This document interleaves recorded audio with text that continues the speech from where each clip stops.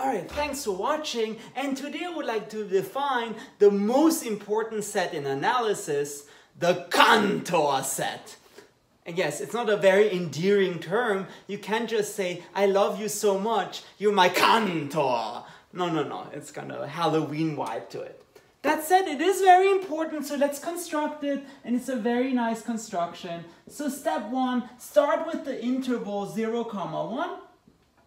So f1 is 0 comma 1. And then you can split this into three pieces, to like three numbers, one thirds and two thirds. And just remove the middle piece. And once you remove it, you get two subintervals, and those will be called F2. So step two. So you have the two subintervals, 0, 1 third, and then 2 thirds and 1. And then you just get f2, which is 0, 1 third, close interval, union 2 thirds and 1. And then you just continue. Each subpiece, divide them up into three pieces, and just remove the middle third of each subpiece. So step 3, you get, I think, 0, 1 ninth, two ninths, and then one third, and then I believe two thirds, which is six ninths and seven ninths, and eight ninths and one. And that gives you F3. And then just continue in the same way. Namely, given any Fn, you define Fn plus 1 by just removing the middle third of each Fn. So, and then in general, given Fn, define Fn plus 1 by removing the middle third.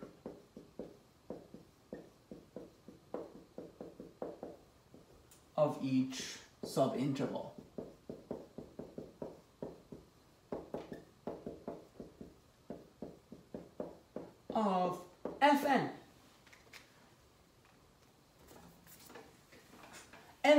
essentially, you get this nice hierarchy of sets. So again, we started with F1, and then we had F2, and then we had F3, and then we have F4.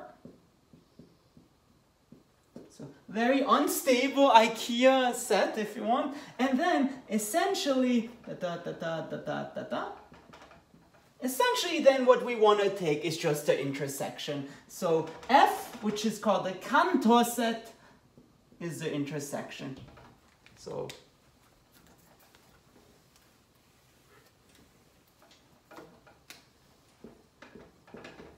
definition, so the Cantor set I love this word. It's just defined to be f, which is the intersection from 1 to infinity of fn.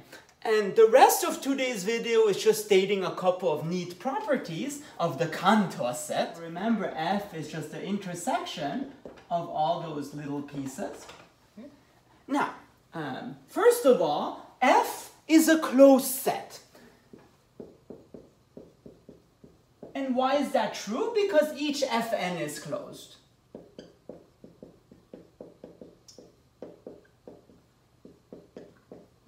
And you're just taking the intersection of infinitely many closed sets. Moreover, and kind of what's more interesting, is that F is non-empty. Because it could be possible that if you take the intersection of those infinitely many sets, that the intersection might be empty, but this is not true because of the video I've done on the finite intersection property.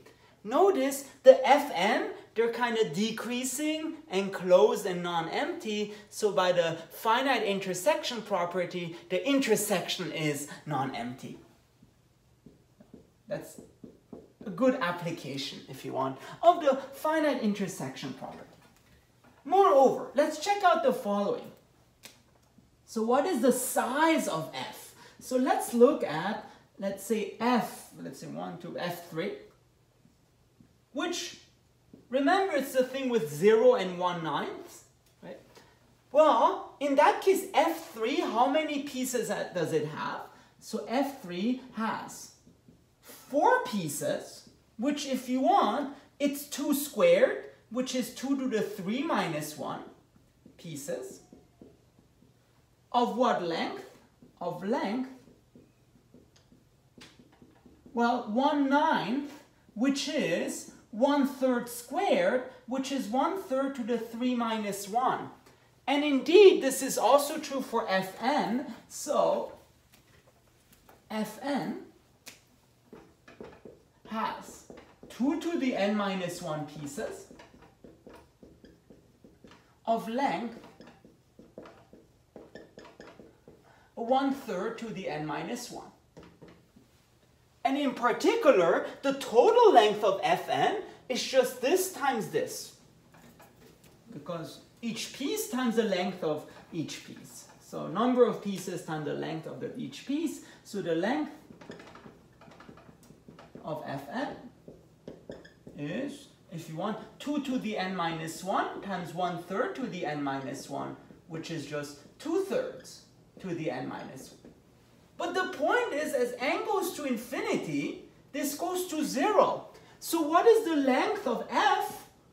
Well, it's smaller than the length of any of the fn's, so the length of f is actually zero. So, uh, so mm, the size or the length, it's what's called the measure of f is 0. That said, even though the length is 0, the cool thing is f is uncountable.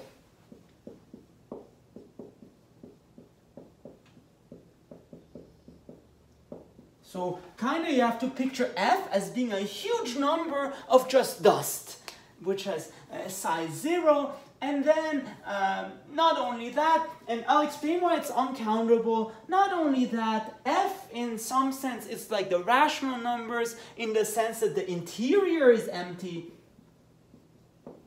meaning that no matter which point you pick, there's no ball that, that's inside that uh, Cantor set. No matter how small r is, the ball of uh, center that point and radius r isn't in that set. So it's really like dust, you know, like you're just sprinkling dust with no interior. And then not only that, let me see, uh, well, it's awesome. stuff you might not understand. So F is compact, whatever that means, but we'll discuss it in the next video. Uh, perfect I don't even know what that means. and also totally disconnected. Totally, man.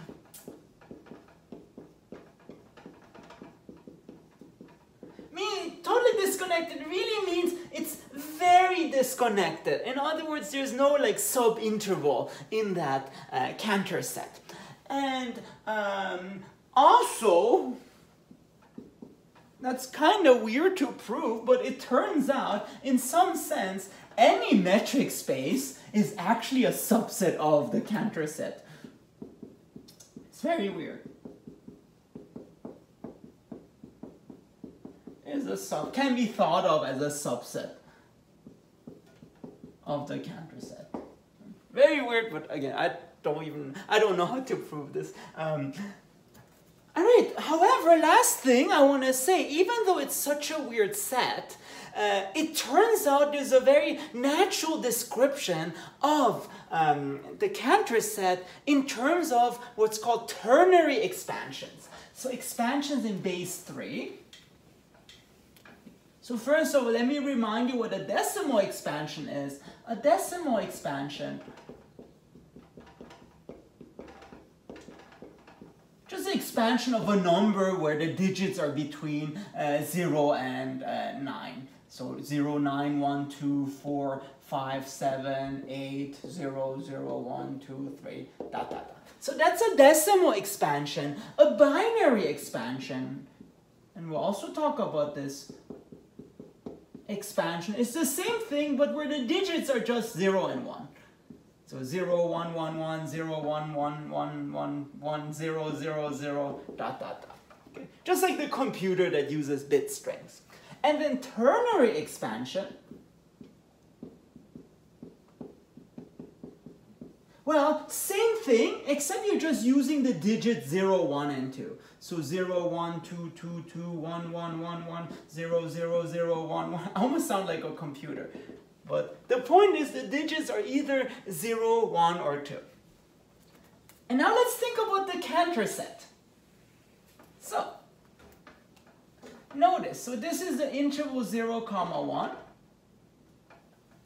Well, what does it mean to remove the middle third? So 0, 1 third, uh, 2 thirds. 1, well, let's think about this a little bit. So suppose your number in the ternary expansion starts at 0.1 and then stuff. In this thing, the numbers are of the form 0.0 something. But then one third is of the form 0.10000 in the ternary expansion. But then in this interval, all the numbers, they start with 2, like 0 0.2 something something something. So indeed, notice, by removing the middle third, we actually removed all the numbers that start with 1 here in terms of uh, the binary, the ternary expansion. And then let's continue. What about those things here?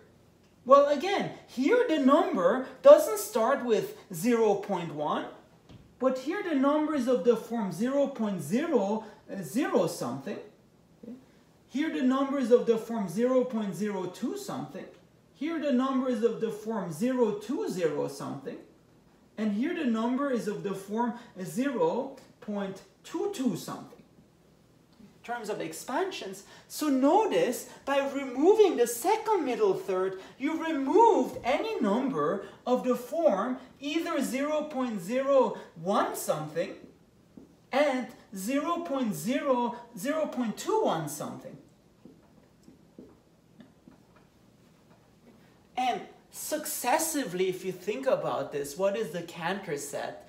It's any number whose ternary expansion has no one. So Cantor set.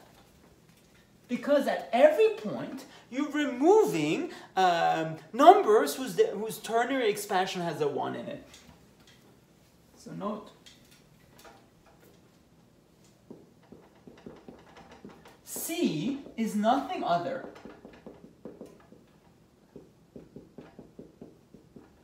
than the set of uh, uh, the set of numbers of numbers in the interval 0, 1 that do not have 1 in its ternary expansion.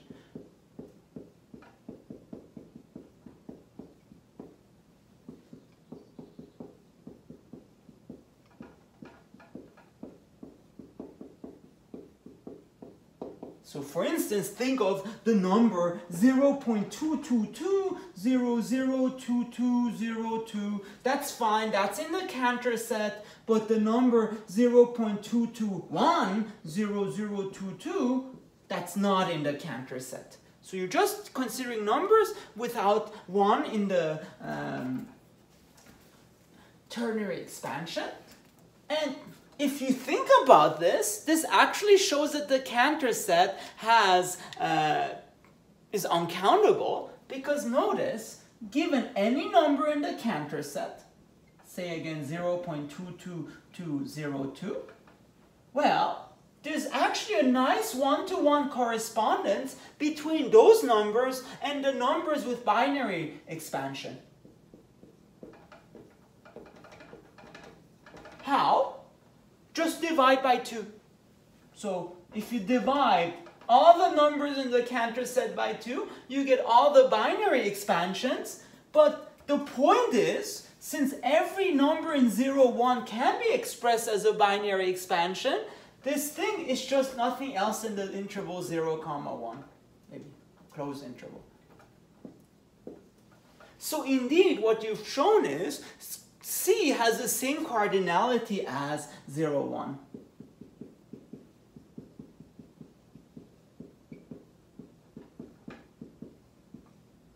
As uh, 0, 1. And therefore, this also shows that C is uncountable.